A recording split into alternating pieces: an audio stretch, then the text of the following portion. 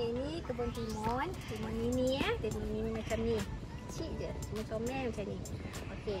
Uh, kebun ni berada di Kampung Padang, Kuantan, Pahang. Ha, tengok timun. Timun fresh. Timun, insya-Allah. Ha, banyak. Okey, siapa-siapa yang nak beli timun boleh kontak nombor yang tertera di sini. Okey, dan kontak nombor saya. Kami ada orang yang uruskan untuk penjualan timun.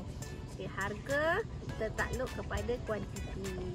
Okey, Assalamualaikum. Selamat membeli timun.